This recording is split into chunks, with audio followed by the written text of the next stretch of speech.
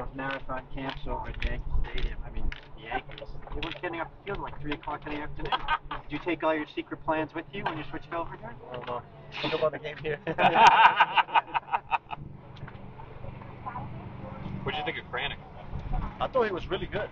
You know, uh, the way he attacked the zone and the way he uses his pitches.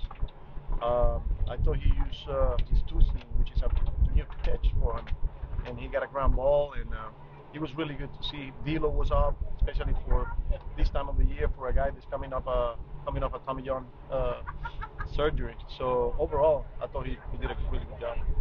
What can he show you in camp? Um, well, the pitchability. You know, this is a guy that uh, before he got hurt, he had really good stuff, and then you know, uh, last year when he got back uh, from his injury, he was a little timid. You know, but it was really, really good to see today the way he attacked his on and the conviction that he was throwing his pitches. So. Francisco talked about the uh, adjustment that Acuna made today, letting things slow down both in the field and the bats. What did you see out of him today? And the uh, exit velocity off his bat was, looked special.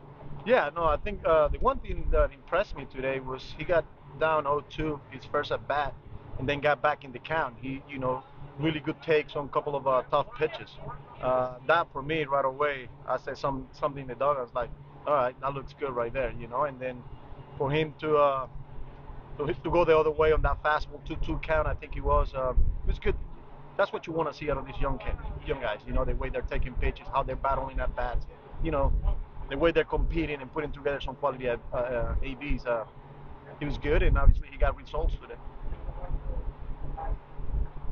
good. Defensively with Acuna too, Carlos. What do you look for out of him? I know it's a position he's probably going to project to long term that he's thinking about.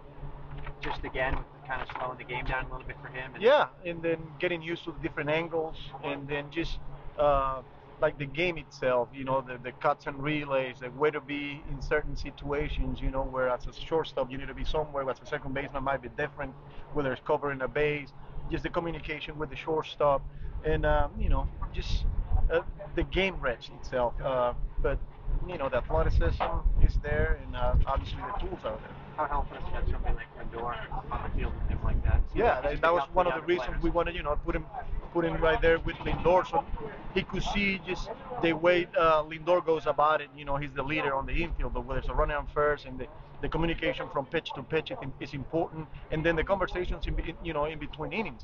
You know, like what is he seeing from the pitcher, from from the hitters, like the way they're reading swings. So coming from a guy like Lindor, you know, and having him right next to him is, is important. It's funny because we talk about the transition certain players have to make. We really haven't touched on the transition you've been making in, in spring training as a manager and doing all this. What's been the hardest thing for you to date? I wouldn't say uh, the hardest. It's just having those conversations with the players and getting a feel for where they at in certain situations, whether it's like a 3-0 count, you know, when they looking to steal bases.